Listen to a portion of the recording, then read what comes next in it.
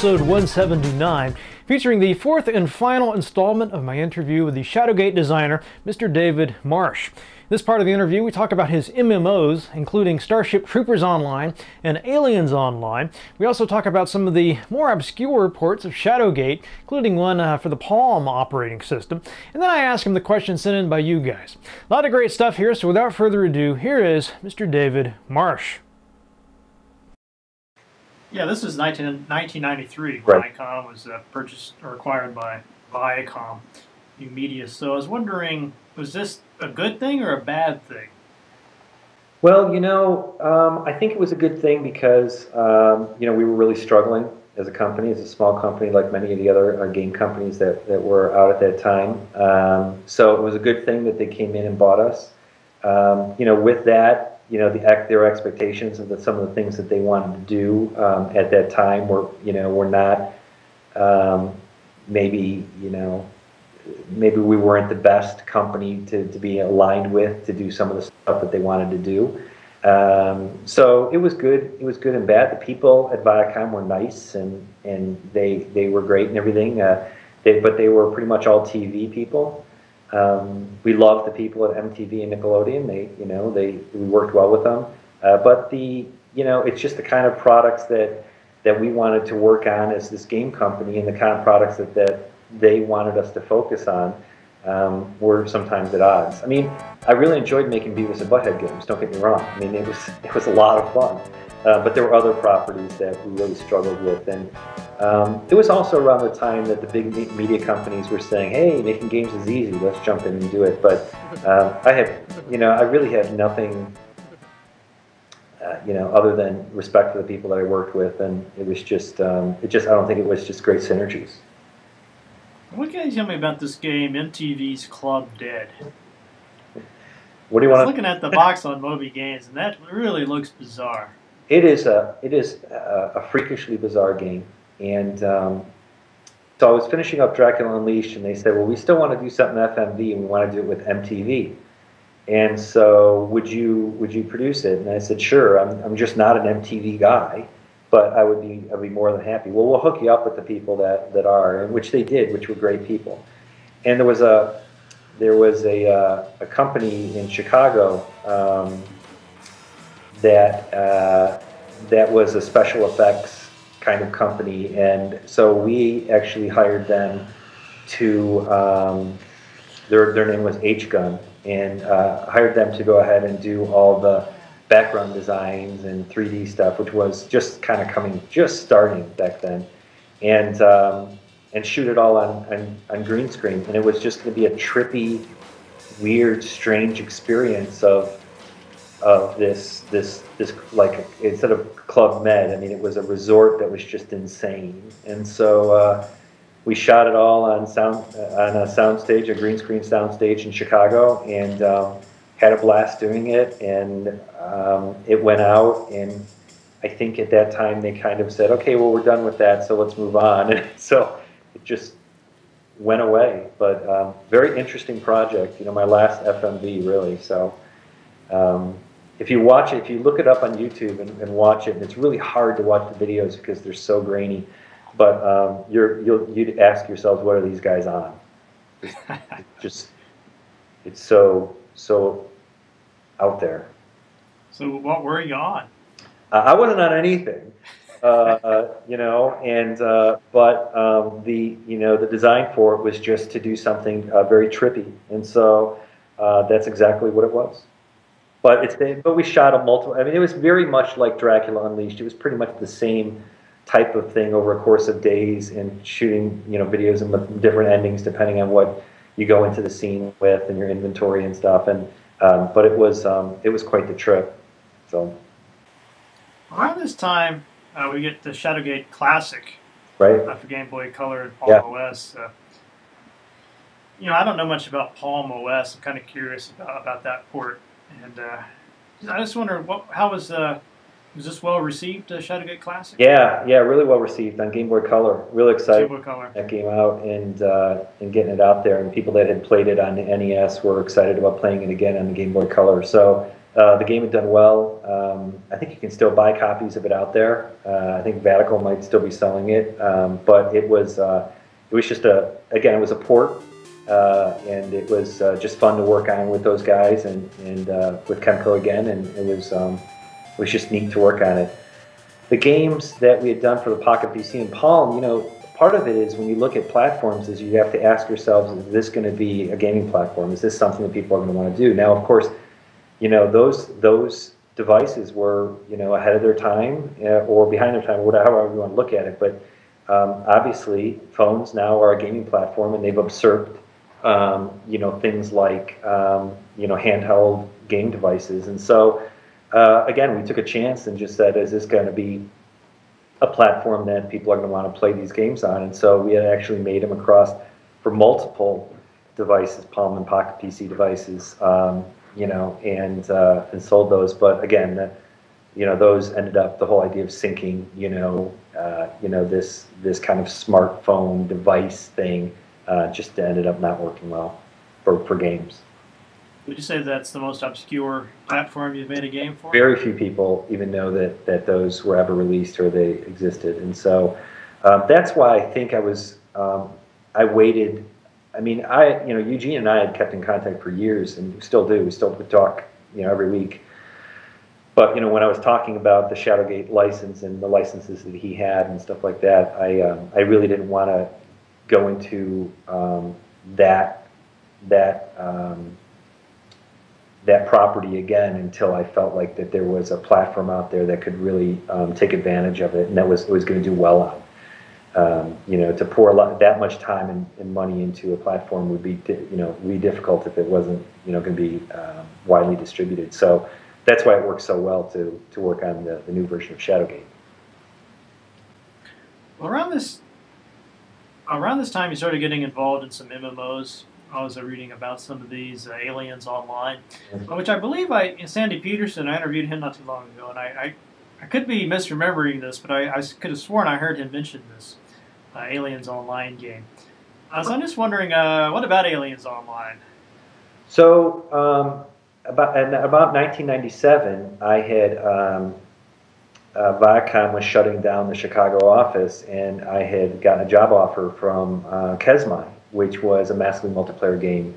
In fact, they made the really the first commercial massively multiplayer games on Genie and other devices and so it was really neat to um, to come to come here to Virginia and to work on that. And because I had worked with Paramount and and, um, and Warner Brothers and worked on some licenses, they were looking for a producer to go ahead and and work with the licenses that they had. And so Mythic Entertainment, which is the Dark Age of Camelot folks, which is now Mythic BioWare, um, they were working on Aliens Online for Kesmai, you know, to produce it. So they just needed an executive producer, which is what I did. Um, so uh, it was going to be for our GameStorm system or our GameStorm platform, and so I just worked, um, you know, as the liaison for for uh, for Kesmai between them and Mythic, and them and uh, and the folks uh, at Fox that own the Aliens license, and so that was pretty much my involvement was to just make sure that the game was getting done, you know, from a Kesmai standpoint, and the guys at Mythic were wonderful to work with and then uh, and then that the licensor uh, liked it. So that's really what I was doing. So when I was working on that and Starship Troopers, in Silent Death, and I think I, I might have been executive producer on Godzilla Online. Some of these titles that we were putting out on the uh, GameStorm site on Kesmai, um, pretty much other than making some games internally for Kesmai, I was the um, I was the executive producer for those that Mythic was working on while they were right before their success with Dark Age. Why, what, what happened to these games? Especially Star, uh, Starship Troopers Online. As soon as I saw the title, I thought, that's a brilliant you know, license. I mean, because watching the movie, it almost feels like you're watching a, a, a game already in, in right, so, right. I mean, why, why weren't these games successful? Well, um, at that time, uh, Electronic Arts came in, and we were making games for AOL, and uh, Electronic Arts was interested in, in uh, getting games on AOL as well, and starting EA.com. And so um, Electronic Arts actually bought Kesmai and wanted to develop their own their own platform, which was EA.com. And so the GameStorm platform pretty much went away. so that's pretty much why those games, um, you know, kind of went by the wayside. So we continue to work on BattleTech 3025. Um, Nick was the producer of that, and then um, when he left, I, I took it over. Um, and then we worked on a new version of Air Warrior, um, the Millennium Edition. So we were working on a couple of those, plus some casual games for AOL, you know, poker and euchre or euchre, whatever that euchre, I guess, uh, and a number of other games. Um, but uh, you know, uh, we were concentrating on the stuff that EA cared about, which was um, creating stuff for a new platform and not what we had pre- previously done. Seems like a lost or missed opportunity there on EA's part. Uh, I don't, you know, it's it's tough to you know it's tough to say. I mean, they, they really wanted us to, to really focus down on less games and, and games that would work well on their platform, and so I mean that seemed to make sense, and um, you know enjoyed working with those guys. Uh, you know, the kind of projects we were working on. I mean, I love working on BattleTech, and um, you know, it was it was a, it was a neat again it was a neat time, but um, it was a shame that you know I mean Aliens was a lot of fun to play the guys at Mythic did a great job. You know, between you know you could play either Marine or an Alien, and it was a first-person shooter, and it was a blast, and the and the levels were really well done. Um, I liked you know I liked Starship Troopers. I liked the fact that you could you had this top. I was always a fan of top-down shooters, and you know you could choose to be an alien and you could pick up an asteroid and whip it at you know and launch it across the screen. I mean, it was great fun. Um, and then also at that time, Mythic had just launched Dark Age of Camelot was so it, it was such an overnight success, and they were concentrating on that. So, you know, getting bug fixes for Alien was a little Aliens was a little difficult, you know. So, uh, you know, it was it was an interesting time working on MMOs. Uh, so, out of all the people I've interviewed, I think you're the one that's got to be on the top list at least of working on as as many platforms as you have you know all these different ports. Yeah, I think there's like, some obscure ones. So yeah, I think if I think about it, it's been like 20 different platforms. It's pretty between the Japanese market and the American market, and just you know consumer electronics. It's been uh, it's been a blast. So, what lessons have you learned from all these working on all these uh, different machines? Well, the, uh, probably the biggest one is um, it's like innovation innovation in general, um, there's two types of innovation. There's radical innovation, which is somebody that creates something that is that has never been seen before. And then there's incremental, incremental innovation, which is taking something that has already been innovated uh, on, and then you um, you make it a little different or a little bit better, or you alter it. And um, I always ended up being in in the cases, um, you know, both you know uh, companies and projects that were innovative projects. Uh, but innovation doesn't always translate into uh, you know revenues. Um, usually, it's somebody you know tries something, and if it um, on some new platform, and uh, you create for it, and you see if it works.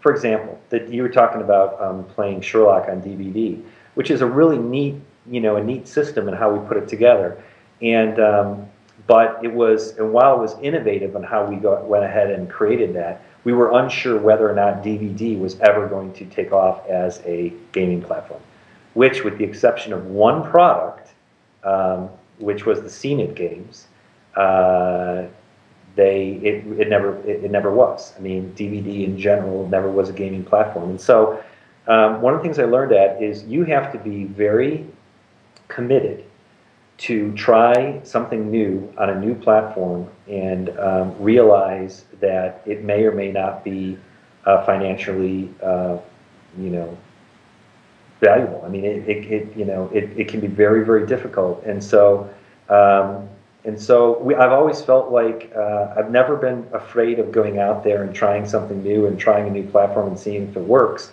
um, because I always learn something new from that platform.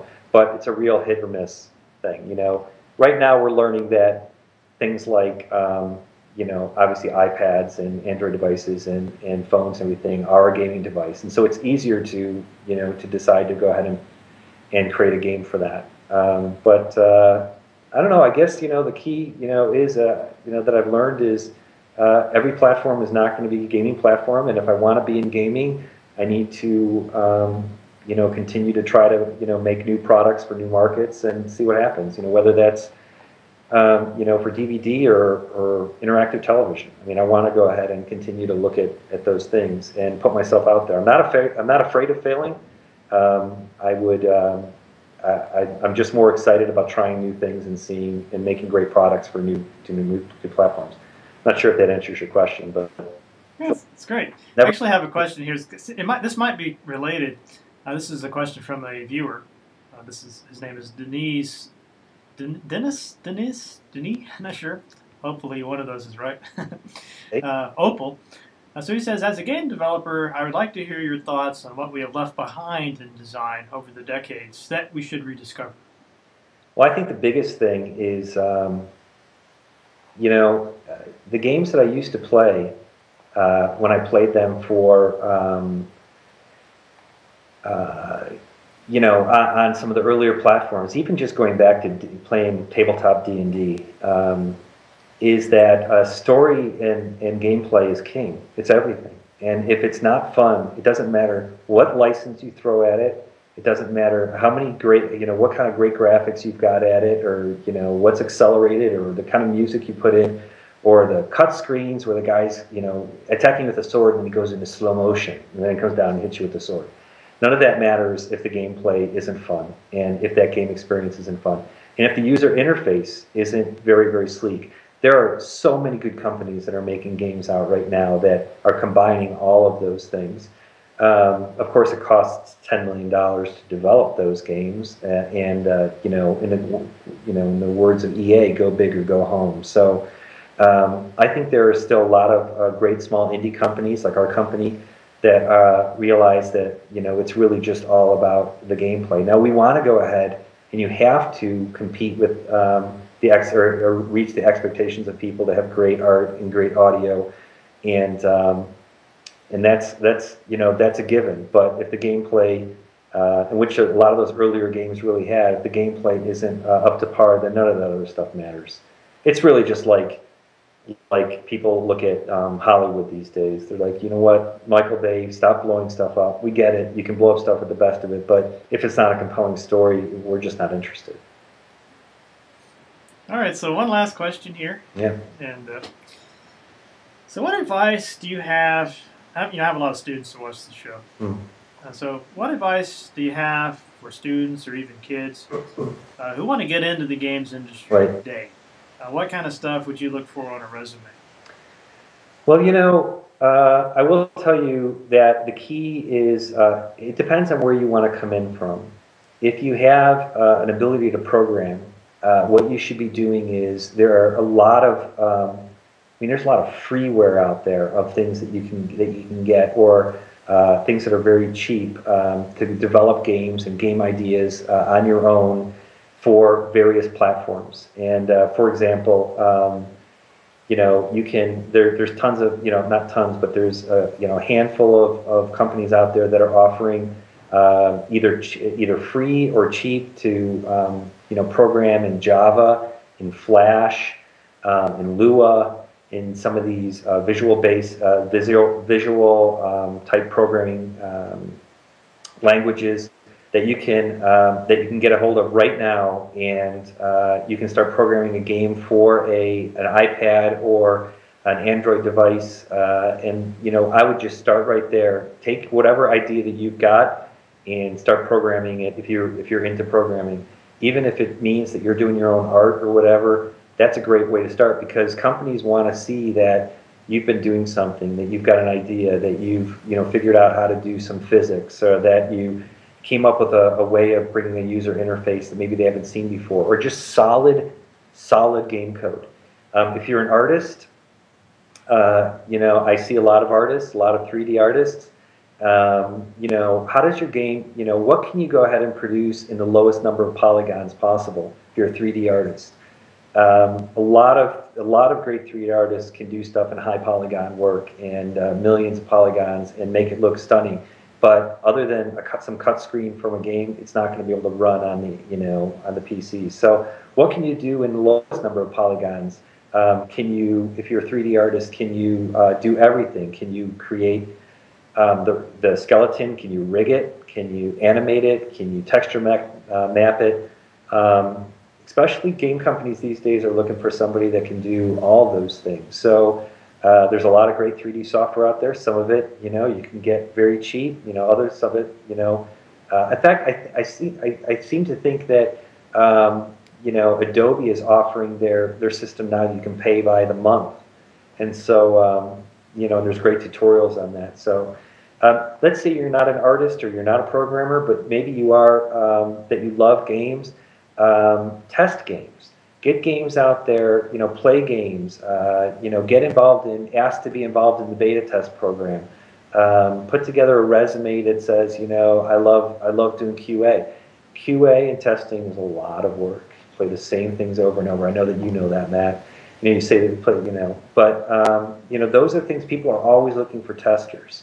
Um, so there are different, you know, different things. You know, there's a lot of sound people out there uh, score something that has already been done or find some game you know some game footage from your favorite game and score it yourself and put in sound design and effects on there and and send it to that company and said look you know i played your game i loved your game i scored it for you can give me a job be aggressive. So it is tougher to get into the game industry than it was um, you know back when i got in in 85 because there were a lot less people in it. Um, but there, there's a lot more tools available to you now so I just don't give up on it. You know, I, I don't. In everything I've done, I've never given up. I always keep putting myself out there. Be ready for failure. Uh, pick yourself up again. I know that sounds cliche-ish, but um, just do it and uh, you know, and continue to play games and uh, you know, and put yourself out there because um, people in game companies want to see other people that are aggressive. That's a really great and unique advice. You're the first person I've had on that's talked about scoring a scene from an existing game or uh, uh, for an artist to focus on low polygon counts. Uh, well, good. I'll tell you, I found my I found my musician for um, the new version of Shadowgate, a guy named Rich Douglas. He's phenomenal. He's go to richdouglas.net, uh, Douglas with one S, and he's ridiculous. And you know how I found him, uh, Matt? It's really interesting. I was um, sitting on the beach uh, over the summer, and we were just starting to think about the pre-production of what we're going to do for Shadowgate and starting to look at art and audio. And um, I just went on YouTube and I typed in Shadowgate music, and uh, Rich's video came up, and um, and he said, "I'm a big Shadowgate fan, and uh, I thought I would score this. I love this piece of music um, from the beginning of the game, and I'm going to score it. Tell me what you guys think."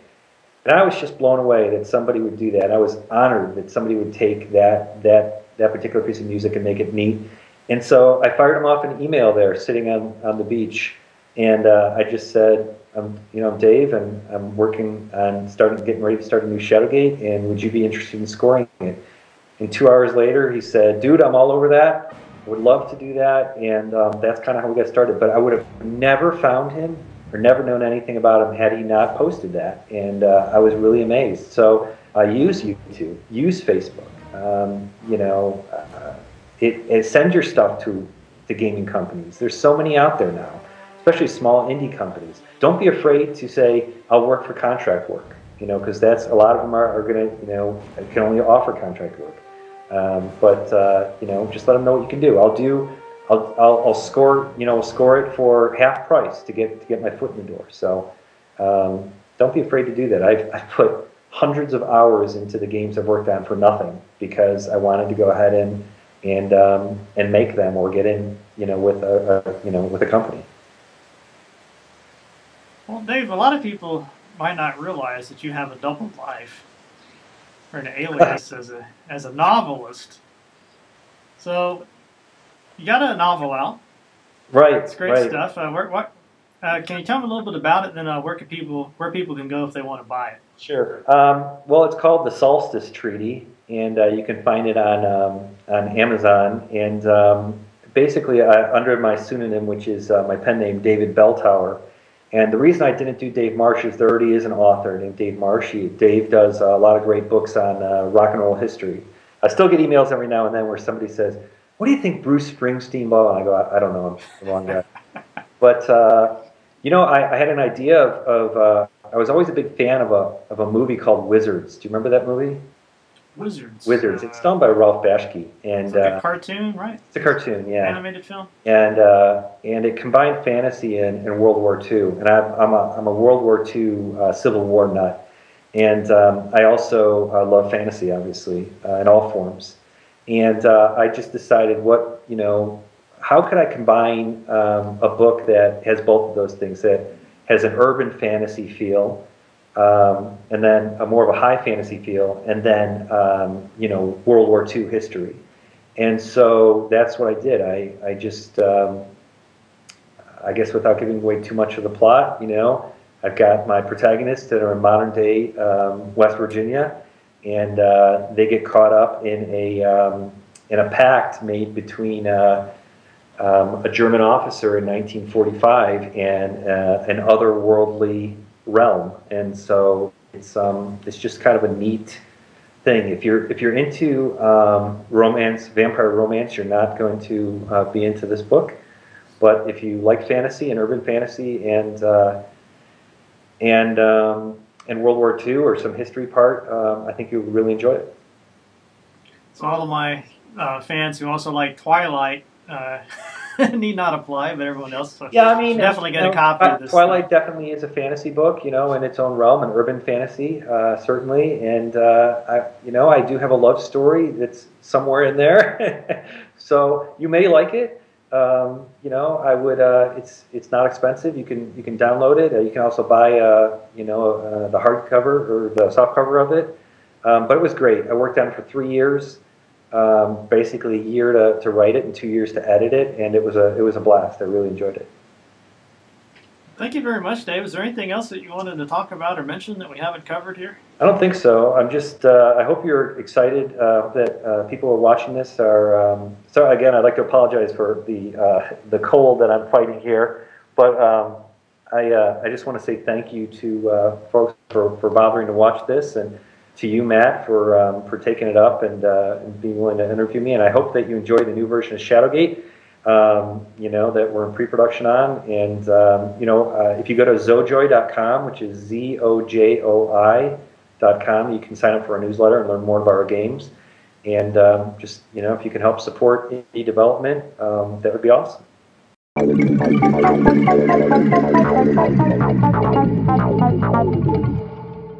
And that's all for this week's episode. Hope you guys enjoyed that. I should be back next week with a new retrospective, so if there's a game you'd like to see on the show, just uh, send me a little video of yourself. Uh, tell me who you are, where you're from, and the game you'd like to see. And who knows, it could be the subject of the next Matt Chat retrospective. So thank you guys for sending those in. As always, I want to thank you if you have supported the show financially. If you'd like to do that, just go to armchairarcade.com, look for the Matt Chat link in the top right corner. You can uh, make a one-time donation or set up a subscription.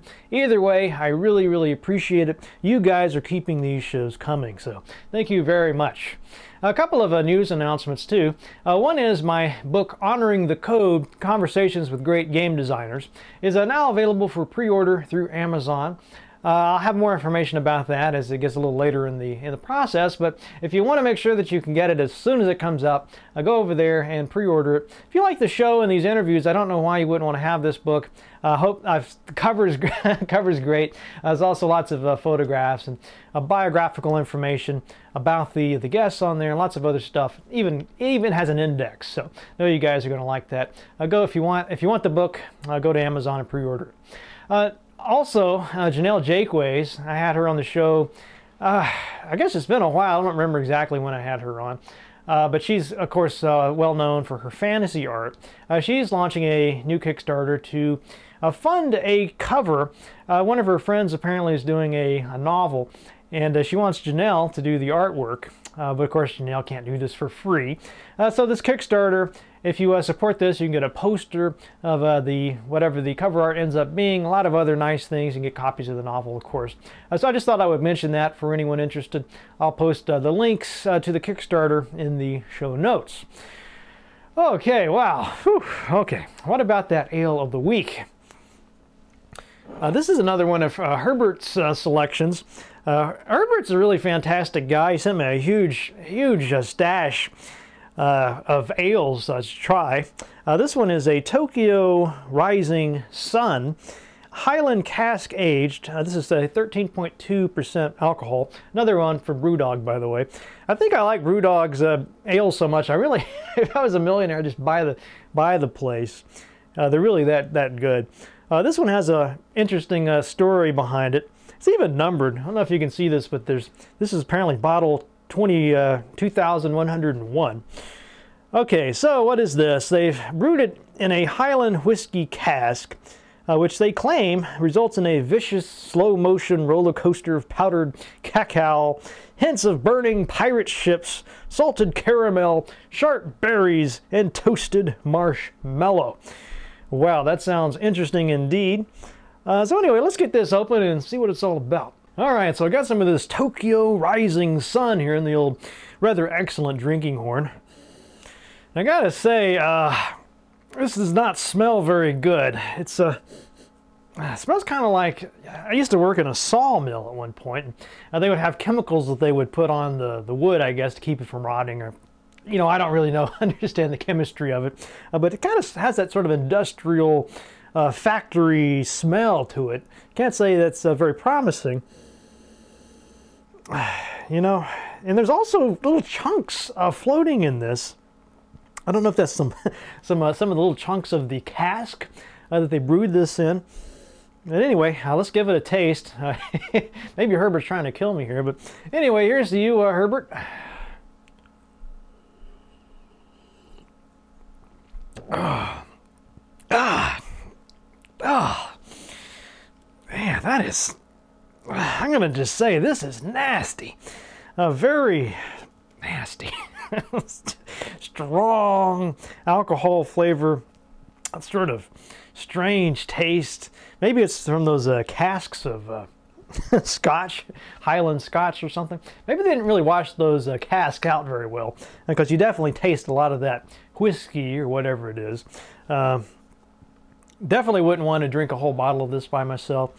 Uh, I probably will anyway. uh, but this is probably going to knock me completely uh, senseless by the time I'm done with this. So maybe I should just uh, take one one little sip and then uh, uh give you my rate. Oh, damn. Okay, yeah. Ah, what the Damn. Uh, what to give this one? I would uh, say just I wouldn't give it any horns at all if you're just looking for something really pleasant uh, to sip on. Uh, very strong, very foul. Uh, on the other hand, if you're if you like a challenge, uh, you want to go for something uh, complex and sophisticated that will uh, make you feel more manly, I guess. You know, this would be a good uh, selection. I'm gonna go, uh, I guess, one out of five horns on this. I'll give it a horn just because it's interesting. I haven't ever tasted anything remotely like this one, but you probably don't want to, you know, to get a big six pack of these things. Definitely not. But anyway, thank you, Herbert. That was definitely an interesting experience. All right, for the quotation, I'm actually going to read a little quotation from uh, the Solstice Treaty, uh, which uh, Dave uh, was kind enough to send me. He's got quotations in here from various people, and here's one I, I liked right from the start of the book. Uh, this is Sir Winston Churchill, and it goes something like this It is a mistake to try to look too far ahead. The chain of destiny can only be grasped one link at a time. See you guys next week. My dear, I don't think he's as stupid as he seems. My dear, nobody could be as stupid as he seems. Oh,